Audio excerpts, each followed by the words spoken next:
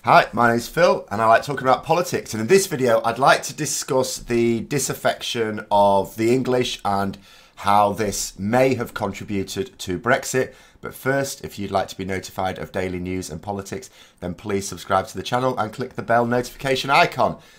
So, when it comes to voting for Brexit, um, the UK is of course made up of four distinct countries, or three countries and a bit of a country in Northern Ireland. Uh, you've also got Scotland, England, and Wales.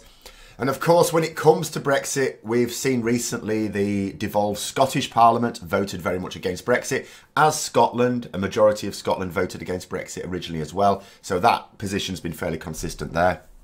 Northern Ireland, their assembly has voted against Brexit, and Northern Ireland itself collectively has voted against Brexit consistently as well.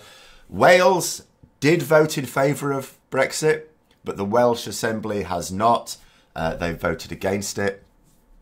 And uh, people will argue as well that the people of Wales are now very much against Brexit. Well, so are the people of England uh, when we look at polls as well. And indeed, even when we look at the public polls of how people voted in the last general election. But the fingers keep getting pointed at England. Uh, part of it is natural enough in that two things. First of all, England has way, way more population than all the other parts put together. So, of course, the voting power in Westminster is way, way ahead.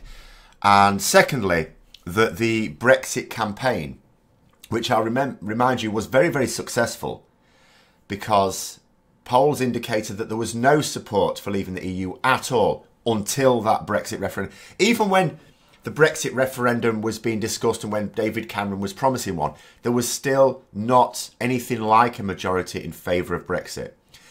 The Brexit campaign was brilliant in that it perfectly timed it so that the proportion of the population that were in favour of it just slightly dipped above 50%, just in time for the referendum, after which it came back down again. And that campaign was very much targeted at England. And, and if you look at the nature of the campaign, it was very much about targeting the disaffection of the English. Now, it could be argued that the UK in general, uh, like a number of democracies, but certainly the UK in general, has been disaffected by politics. We do not believe, and, and I think with very good reason, that politicians have got our best interests at heart. The political establishment doesn't have our best interests at heart. We know that, but a lot of people, when they go traipsing off to the polls to vote for their MPs. A lot of people don't really believe that any party has their back, or at least any party that realistically can form power. And so you have this level of dis- uh, you know, disaffection. Now, in Scotland, of course, you know, you can be disaffected with Westminster, but you may be on board with your own parliament. Scotland has its devolved parliament. Wales has a devolved assembly as well, and as does Northern Ireland. England does not. And there have been studies into this that have indicated that this potentially was also a factor in Brexit. There are numerous factors in Brexit, and because the result was so narrow in the end, even a very small factor, uh, potentially, if it wasn't there, would have very likely swung it the other way.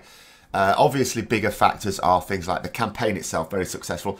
The fact that a lot of the parts of the British media were feeding this drip, drip, drip narrative against the EU for so many decades before as well, getting into the public consciousness was a big factor.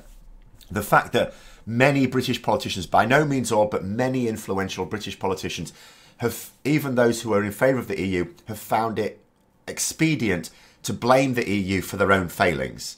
Um, knowing full well that there was no danger of us leaving the EU, so it seemed like a, an easy target for them, and that's backfired that was also a major factor because that meant you had no real counter to that drip, drip, drip negativity from the British media. But the concept of devolution, the, disat- the, the disaffection, sorry, of the English is uh, a real possibility because when you look at the situation, and I know people have expressed this view as well, when in my lifetime the, the devolution of the UK has has really taken hold. You know, the devolved Scottish Parliament was in my lifetime, Welsh Assembly, at Stormont in my lifetime.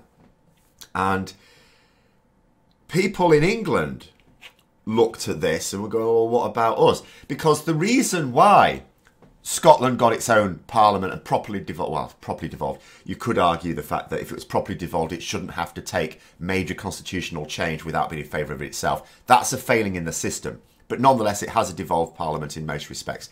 Wales has some devolution as well, not as much as Scotland, should have more, but it has got a certain level of devolution. Northern Ireland, a certain level of devolution as well.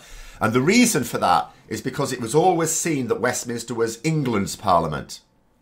But it's not true. It's not. It's just obviously if there are going to be fracture lines along these national lines, England is going to hold sway. It has the bulk of the population and not just a little bit, massive. It has virtually all of the population of the UK. So, of course, it has almost all of the seats as well. Uh, in fact, it's actually, technically, proportionally less. So, England actually has slightly less proportionally of the seats compared to population. So, but anyway, it's not. It's the British Parliament. There is no English Parliament, and and the English really. It could be argued. It's certainly been felt that there, there is no English identity anymore. Even in sport, like I always say, I just feel, my, feel think of myself as British, and I don't mean British first and then English second. No, there's no English second. It's Yorkshire second, if anything. There's no English. I don't feel English. The only time I am English is when I have to watch a sport where I have to be, and that's not my decision either. Say football or rugby, for example, classic examples where we have teams along the, the national lines. Absolute madness, but we do. And and Scotland and Wales have their own anthem. Ireland a bit different because in rugby there's just the Irish team, which is actually a much better idea, and they they created their own song, Ireland's Call. It's absolute cork if you've never listened to it. And uh, that's not a pun, by the way, Corker. I just realised, sorry. Um, but what do the English team sing? God Save the Queen. What's the British anthem? Okay, yeah, all right, written largely as an English one, but it's, it's the British anthem. The English should have their own, but they don't. So there's no level of identity that's particularly English. We don't have our own devolved parliaments, and we should. We probably should have several. One for the south of England, keep them away from the north. One for the north, one for the Midlands. Um, you know, but but there should be devolved parliaments that's totally separate to Westminster and leave Westminster to deal with purely British matters, you know, international policy, that sort of thing. And um, but we don't. So there isn't that level. So I, th- I think in England you had a greater level of cut off. Scotland had people that were speaking for them. Wales had people speaking for them. Northern Ireland people speaking for them. England didn't. There was no one. And uh, and although some people point to the fact that there are purely English matters that are also decided, but they're decided in Westminster. And again, we need, you know, there's no separation from Westminster purely for England. So a lot of people in England just sort of felt that the political establishment wasn't in their favour. I suppose it's a little bit like some men, and uh, and I'm not saying this is with good reason, by the way, but as feminism took hold, you know, some men felt, well, where, where, because there are aspects of the law that that discriminate against men. And, and there were some that, particularly, you know, you, they're like the campaign Fathers for Justice, for example, that fathers are sometimes treated very badly in divorce cases, for example, when it comes to the kids. And so some would then sort of see, well, you know, whenever there's uh, a situation that discriminates against women, people are all on top of it, and not so much for men.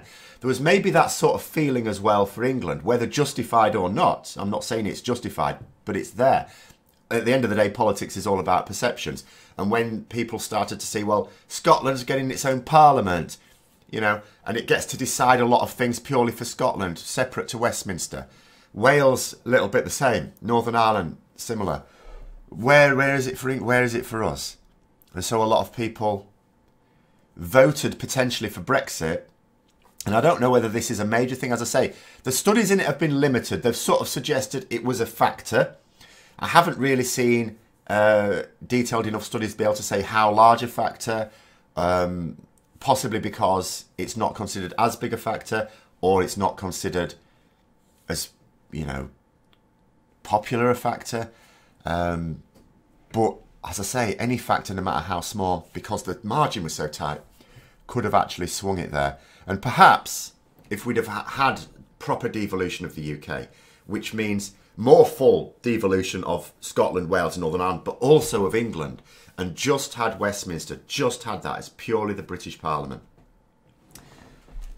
then quite possibly it would have been very different. So anyway, hopefully that adds another little dimension to the English problem of Brexit, which is, of course, yes, still continuing. I'm sorry for that. I really do apologise. Um, hope you found the video interesting. If you did, don't forget to click the like button. And if you'd like to support the channel further, then also please click the Patreon link for details. And until next time, I'll see you later.